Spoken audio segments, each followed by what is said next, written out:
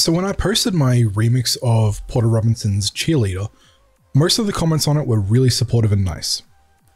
But it's always the negative comments that you remember the most and leave the most impact. It's like that with a lot of things. I think it's something about human nature.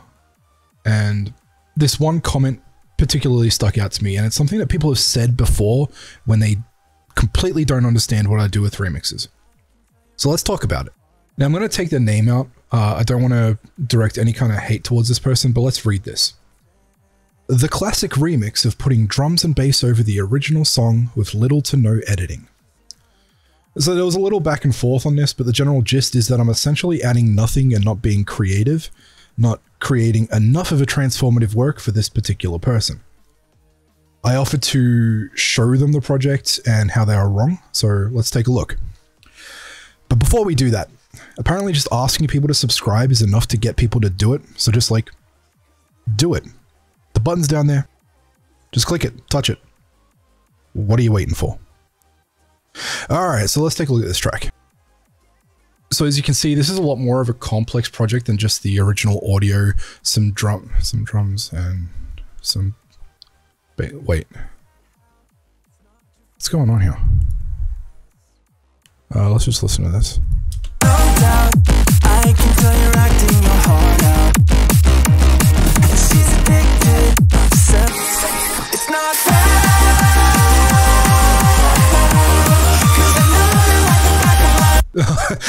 All right. Uh, this is what it would look like and what it would sound like if what they said was actually true. Uh, this is what the project looks like. Now, I realize I should probably just let comments like this go, delete them, block them, whatever, but it really kind of irks me when someone Dunning Krugers their whole perception of your creative work and minimizes it into something that in actual fact it blatantly isn't. This will be the only time I go over this for someone who says something like this. Next time it happens, I can just point them here. Uh, in fact, it actually happened again while I was writing this script. A, a lot of people will look at something that they don't understand and make a patently wrong and broad generalization of it to minimize the skill involved in something. Like, have you ever heard uh, people mischaracterize death metal and say that like the band is just chaotically thrashing at their instruments and screaming nonsense into the microphone? Uh, it's either intentionally misleading in order to diminish someone's work, or they truly don't know and don't want to see the merit. So let's pick apart this statement. Uh, let's start with the original song with little to no editing because really everything else doesn't matter if this statement is false. Um, one of the first things I like to do with remixes is split the, the tracks into stems with AI. Uh, for the most part, I've discarded the drums and I would normally discard the bass too. Sometimes I don't even use the instrumental part, but I, I really like the guitar lines in this track and I wanted them kind of represented in the verses. The bass itself isn't really necessary, but there are some kind of like textural things uh, that I really liked and wanted to include. The let's let's actually take a look at it. So the bass itself is like heavily EQ'd, um, got some distortion on it, and then uh, shaper box and some reverb. The the incoming audio is already pretty well sidechained to a 4x4 beat, but the distortion ruins it.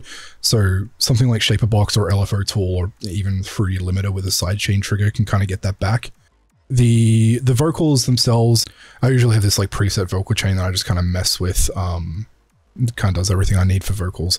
It, it, really just has like a little bit of reverb um some some compression to sort of bring it back up and then this sidechain compression and then some do i even do anything with the eq uh, i i don't think i touched this from like the last project that i made. So it's just like this really like high end roll off and like this random ass tiny notch uh, I don't think that's really necessary. And the intro, the instrumental part of it um, doesn't really have anything but some, I think, some extra side chain uh, to really duck it on the kick. I also have this other vocal line down here um, that's in the intro and the outro that just has like shaper box on it, um, just for some like ambient kind of stuff. Let's let's play and listen to that.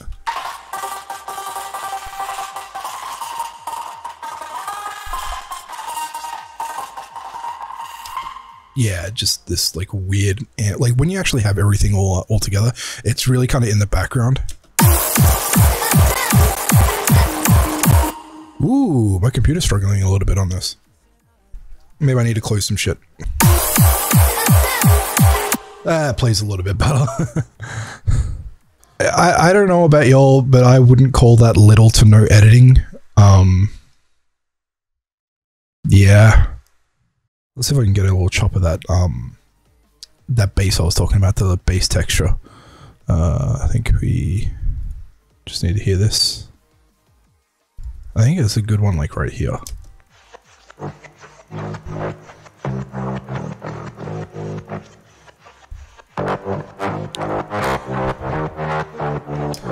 Oh yeah, you hear that? Uh, let's see how that sounds in the actual final mix.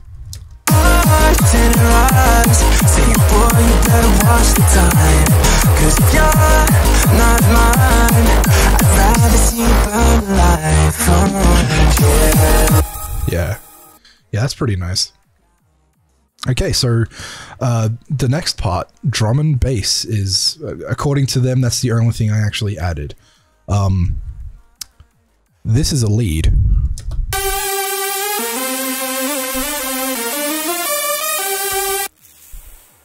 These are some pads.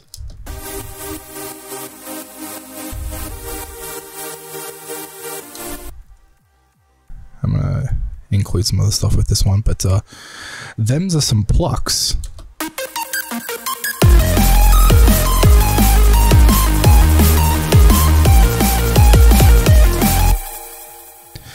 And there's like a whole bunch of like effects and shit, like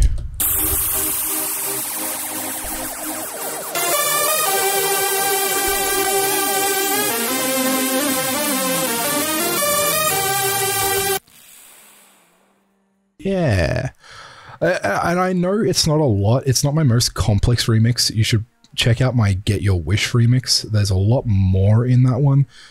But it means you're technically wrong, which is the best kind of wrong.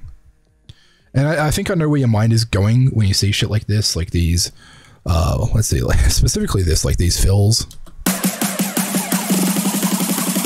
Cashmere sample pack, or like, uh, you know, an Amen break. Or these these random bar end fills like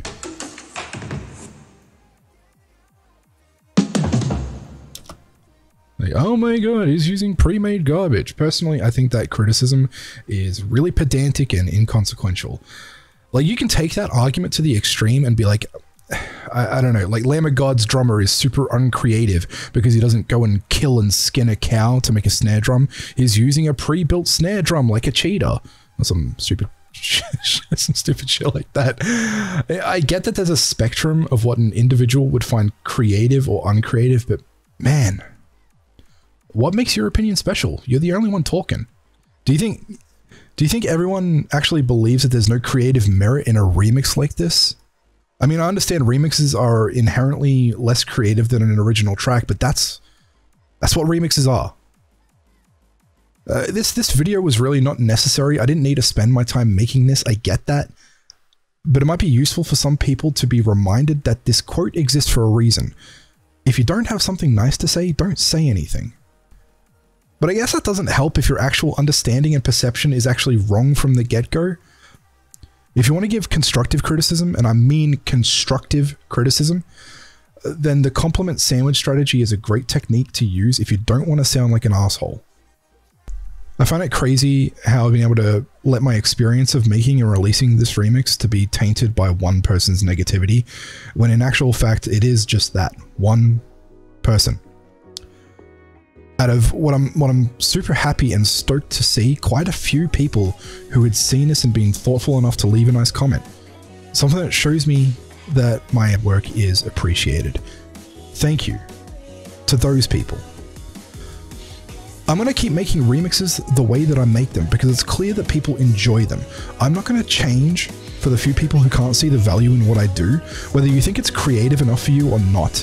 People find value in it, people enjoy it, it brings happiness into people's lives. That's enough for me.